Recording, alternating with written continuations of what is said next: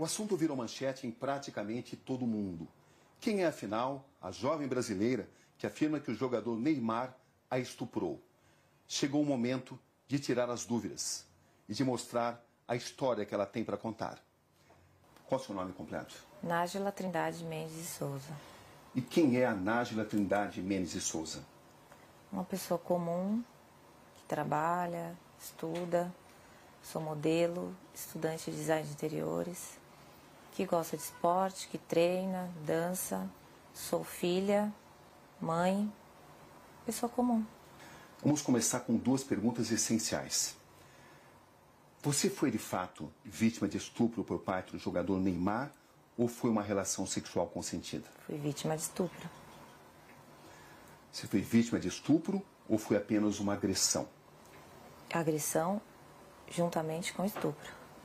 Você reafirma que foi vítima de estupro? Fui. Mas por que então seu primeiro advogado diz que você relatou a ele ter sido vítima de uma agressão, não de um estupro? Primeiro que ele não estava acreditando em, totalmente em mim.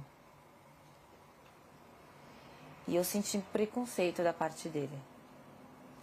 Porque ele disse para mim que é, você vai ter que cortar a unha, a gente vai ter que levar isso para frente, mas você então que deu a entender que é você foi estuprada, você não foi estuprada, você deu porque você quis, você fez porque você quis.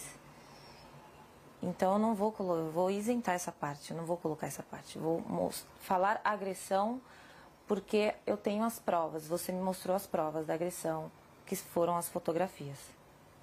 E eu acho que, a, que ele só acreditou em mim porque ele viu a foto que o próprio Neymar mandou para mim. Minha foto machucada. Como é que você conheceu o Neymar, Nájila? Através de uma rede social. Qual foi a rede social? Instagram. Como é que foram as conversas? Como é que você as escreve? Normal, eu mandei uma, uma, uma imagem para ele, não era foto nude meu, era um texto. E ele respondeu e a gente começou a trocar mensagens. E depois de um tempo ele pediu o meu WhatsApp e eu passei. O próprio Neymar divulgou alguns trechos onde aparecem conversas de cunho sexual. Uhum. Quando é que essas conversas começaram? Naquele momento. Do, do, do WhatsApp. E você tinha ciência de que uma relação sexual poderia acontecer? Sim, eu, era o meu intuito era esse. Era o seu intuito? O meu intuito era ter uma relação sexual com ele. Desde quando você passou a pensar dessa forma? Quando eu comecei a falar com ele. Em que situação você viajou para Paris para encontrar o Neymar? Não Quem é que pagou a passagem? Ele. Ele pagou. E as suas despesas, quem pagou? Ele, do hotel. Isso ficou claro desde o início? Não, a gente conversou, eu conversei com ele como uma pessoa comum. Eu queria, era um intuito sexual, era um desejo meu. Acho que ficou até claro para ele isso. E ele perguntou quando eu poderia ir e eu disse, no momento eu não posso, questões financeiras, eu não podia ir. E também questão da minha agenda, do meu trabalho, enfim. E daí ele me sugeriu, tá, mas eu, eu posso resolver isso. E aí eu fui com com a passagem. Você levou dinheiro seu também? Levei. Você viajou para Paris com que expectativa, Nádia? De ficar com ele, de encontrar com ele. Isso de realizar um desejo meu. Isso incluiu uma possível relação sexual? Obviamente. Você pensava nisso? Sim. Estava preparada para isso? Estava. Era algo já consentido, consensual entre vocês? Era. É. Quando você chega a Paris, o que acontece? Eu vou pro hotel, ele me manda mensagem falando que ia para uma festa e que ia passar lá antes para me dar um beijo, para me cumprimentar antes de ir nessa festa. E a partir disso, o que acontece? Eu tinha um desejo de ficar com o Neymar. E quando eu chego lá, tava tudo bem, tava tudo legal as mensagens, uhul, eu ia conseguir, entendeu? Só que quando eu cheguei lá, ele estava agressivo, totalmente diferente daquele cara que eu conheci nas mensagens. Até aí, tudo bem. Como eu tinha muita vontade de ficar com ele, falei, ok, vou tentar manejar aqui. E a gente começou a trocar carícias, começou a ficar, a se beijar. E, a, e daí ele me despiu. Eu Até achei... então foi tudo consensual? Foi. Até aí tudo bem. Sim. Só que depois ele começou a me bater. E eu falei assim, nos primeiros, ok, tava tudo certo. Só que depois começou a me machucar muito. E eu falei, para. Você falou isso de forma clara? Falei. Falei, para, está doendo. E ele falou, desculpa, linda. Ok, continuamos. Deitados na cama, rolando tal. Eu falei, você trouxe preservativo? Porque eu não tenho. E ele disse, não. Eu falei, então não vai acontecer nada além disso porque eu, não podemos. Qual foi a resposta dele? Ele não respondeu nada. E a gente continuou. E ele me virou, cometeu o ato, e eu pedi para ele parar.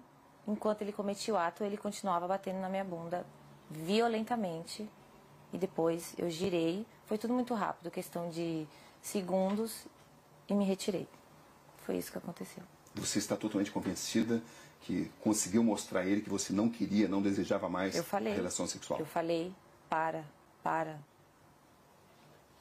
Não, para. Eu falei. E ele nunca disse nada a você? Ele não se comunicava muito. Ele só agia.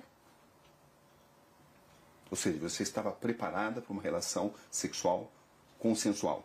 Estava. E quando é que essa relação sexual consensual se transformou, na sua visão, em um ato de estupro? A partir do momento que ele se tornou agressivo, a partir do momento que eu perguntei para ele se ele tinha levado o preservativo que eu não tinha, ele falou que não, e eu falei para ele, então não podemos. Então só vamos trocar carícia, vamos continuar aqui. E ele concordou, com silêncio eu entendi como concordância. Quando ele me virou, ele já foi cometendo ato. Então, assim, ele não entrou em um acordo comigo. Não, eu não trouxe, mas eu tô afim, eu quero. Não, ele ficou calado. Então, para mim, ele tinha entendido que não poderíamos ir além daquilo do que já estávamos fazendo. Ele te obrigou a manter relação sexual? A partir do momento que ele me segurou violentamente me batendo, ele estava me obrigando a ficar ali naquele lugar. Sem uso de preservativo? Sem uso de preservativo. Foi assim que aconteceu a relação Foi sexual? Foi assim que aconteceu. Depois, quando eu saí da, da cama, quando eu me levantei e fui pro banheiro, eu fiquei, não acreditei, foi tipo uma decepção. E eu fiquei estarrecida, então assim, eu não consegui falar nada para ele. Não consegui xingar, não consegui chorar, não consegui falar nada. Eu só fiquei em estado de choque, assim. E depois ele levantou, foi pro banheiro e quando ele entrou por uma porta, eu saí por outra. Você manteve várias mensagens com o Neymar mesmo depois desse acontecimento, dia 15? Mantive. Por que você continuou conversando com alguém que a estuprou? Porque primeiro que eu tive que assimilar tudo. Todo o acontecimento. E quando ele saiu do quarto, e eu comecei a entender tudo o que tinha acontecido comigo e como ele foi estúpido, como ele foi ruim, como ele me violou e me violentou, eu quis fazer justiça. Porque eu não acho que só porque eu estava afim de ficar com ele, ele tinha o direito de fazer aquilo comigo. Então, no primeiro momento, eu não consegui reagir devido aos traumas. E e depois eu, eu sabia que se eu não falasse com ele normalmente, fingindo que eu não tinha entendido o que aconteceu, ele não iria mais falar comigo. Eu não teria como provar o que ele fez comigo. O pai do Neymar relata que sofreu uma tentativa de extorsão. Da minha parte, não. Você ficou sabendo disso? Fiquei. Que os seus primeiros advogados tentaram extorquí-lo. Você ficou sabendo disso? Fiquei. E eu comecei a desconfiar disso no momento que que ele não deixava da queixa. Se foi a polícia contra a vontade dos seus advogados? Foi. Inclusive, porque eu tomei essa decisão, ele decidiu abandonar o caso. Você tinha conhecimento de que tinha sido pedido uma indenização ao Neymar e ao pai dele? Não. Ele falou que ia fazer uma reunião com os advogados dele, que era para falar, levar até eles o que estava acontecendo. Entendeu? Você tinha expectativa de receber uma compensação financeira? Não. Eu quero justiça. Ele me fez muito mal. Eu estou muito traumatizada até hoje por isso. O que você espera exatamente nesse caso? Eu quero que ele pague pelo que ele fez. Você tem consciência do que isso pode representar para o Neymar, Nájila? Eu tenho consciência do que o que aconteceu representa para mim. Uma questão de honra, entendeu? Ele não precisava ter feito aquilo comigo. Não precisava, eu já estava ali para isso, para aquilo. Era um desejo meu, eu sou livre, desimpedida, nós iríamos ficar, eu ia voltar para casa e está tudo certo. Qual é exatamente a sua situação financeira, Nájila, para esclarecer? É, é verdade que você tem uma dívida de 26 mil e está sofrendo uma ação de despejo? É, a ação de despejo eu não estava sofrendo até o meu nome vir a público. Né? Então, mas eu tinha um acordo sim para fazer, eu deixei acumular, é minha única dívida e do colégio que eu estava estudando que por motivos pessoais eu tranquei. É verdade que você deve 4 mil reais ao colégio onde você estudava, à faculdade? É, uhum, é verdade. As pessoas têm usado essas informações para alegar que você queria resolver a sua situação financeira. Você tem consciência disso, né? Tem. É, eu fiquei sabendo, mas olha... Como é que você reage a isso? Eu acho que teria uma forma mais fácil e mais rápida do que todo esse auê, todo esse escândalo. Eu acho que eu não preciso disso. E até o Neymar para poder conseguir dinheiro. Tem muitos trabalhos, muitas coisas para fazer. Eu não ia me expor dessa forma.